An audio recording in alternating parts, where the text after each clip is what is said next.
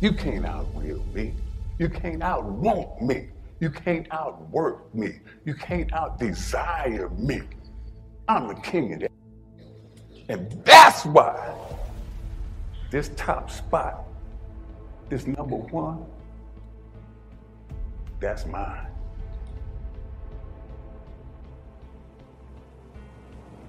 There's people in the world that have skills and strength and talent that I will never have.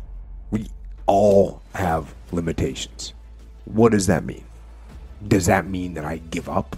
Does that mean that I quit? Of course not. It means that I'm going to try to be the best that I can be. The strongest, the fastest, the, the smartest. The smartest human that I can become. How close can I get to that greatness? How close can I get to that glory? But the reality is that my glory, it doesn't happen in front of a crowd. It doesn't happen in a stadium. It doesn't happen on a stage. There's no medals handed out.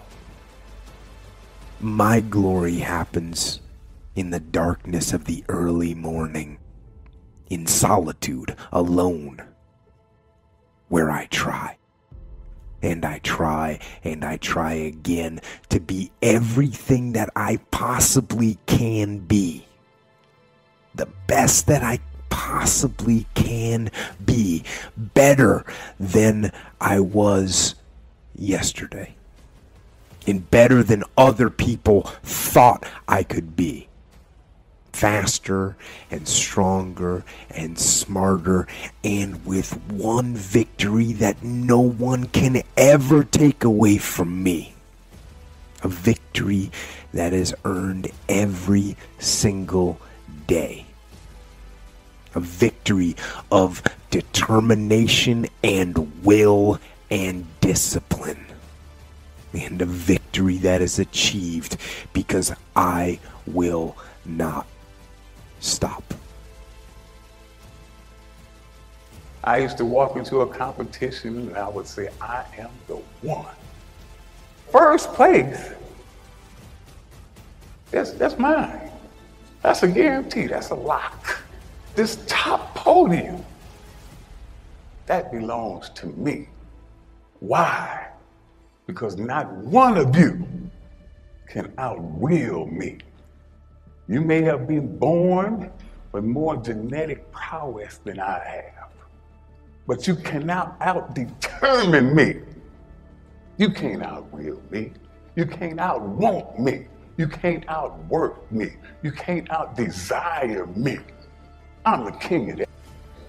And that's why this top spot, this number one,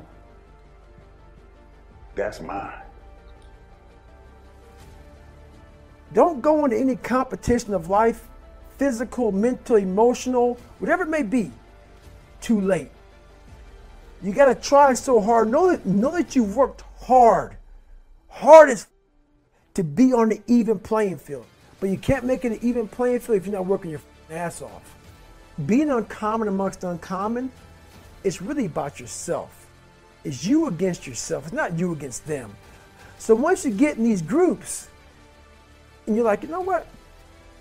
I don't want to be like you anymore. I want to be better than you. I want to I want to put all this shit to fucking shame. Not to put you down, but there's another level, man. I want to keep evolving. There's more to this. I'm coming from a position of being the best at what I chose to do, my chosen field. I was the best at that.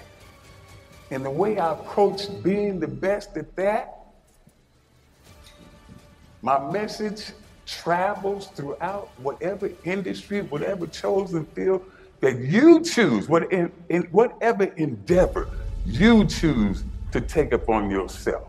If you want to be the best at that, if you want to reach the pinnacle of that, you must be There's no way around it. You have to be obsessed with obtaining that. Greatness in any field, greatness cannot be achieved without obsession. Kill the noise. You got to kill the noise. And many of you cannot get to your level of success. You cannot get to dominance because you are worried about everything that's coming in your ear, guys. You got all kind of distractions from the left, from the right, from in front of you, from behind, on the side of you. Like you are constantly bombarded with noise. And you got to learn how to be mature enough to silence the noise. Who cares what they say? Dominance. Who cares what they think? Dominance. You want to kill your haters? You want to shut them down? You want to kill the noise? Nothing succeeds like success. If you can learn to kill the noise and dominate your space, your lane, stay in your lane and dominate your lane, I'm telling you, not only will you compete, not only will you dominate, but you, my friend, will leave a dynasty. I dare you to dominate. I challenge you to find your space. Stay in your space and create something in your space that has never been created before. Control your lane. I dare you to believe in yourself so much so that you don't need the affirmations of others. I dare you to believe in your uniqueness. I dare you to believe in you. I dare you to stand up for yourself. I dare you to dominate your space, your world, and to leave a legacy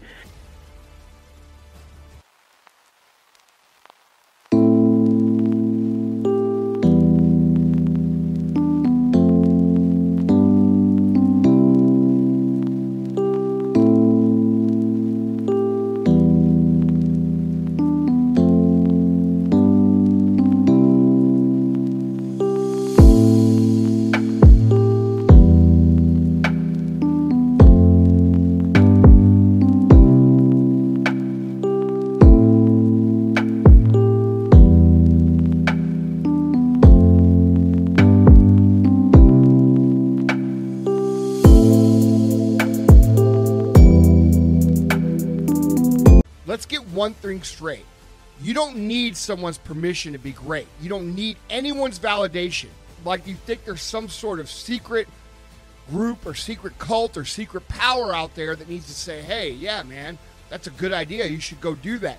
That's not the case. You don't need my approval. You don't need anyone else's approval to dream big and go out and execute on the plan. It doesn't matter what someone thinks about your idea. It doesn't matter about what someone thinks about your plan. What matters is that you go out and do it. When you go out there and you think, oh, I need to get my parents to approve, I need to get my friends to approve, I need to get so and so to approve of me, and then I can go out and do it. No, nobody is going to believe in you in the beginning. Nobody is going to validate you and say, yes, you're going to be successful because the truth is, nobody knows, and most of society is stuck within the four walls of what they're supposed to do and they're not going to see your vision.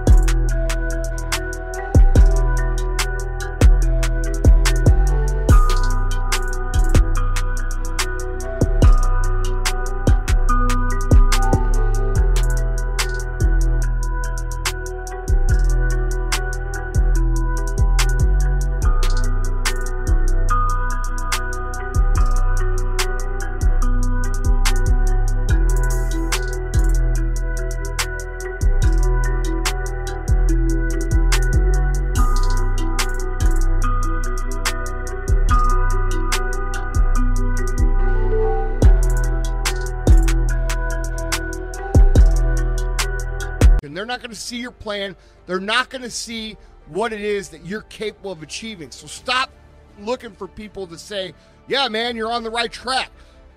Make a plan, work the plan. When you make mistakes, adjust the plan. The world owes you nothing. If you're waiting around for someone to come along and give you permission to be great, you're going to be waiting for a very long time. We're here for a short time and we're all going to die. If you aren't working day in and day out to build your ultimate life, what are you waiting for? Nobody's going to believe in you until after you've done it. And then some people are going to come around, the same guys who were laughing at you in the beginning, saying you're crazy, they're going to say, Man, I always believed in you. I always knew you were going to do something great. Don't let your delicate little panties get in a bunch because your friends laugh at you when you say you want to drive a Lamborghini or build a great business or career or build an extraordinary life. Instead, take those mental notes, save it inside, use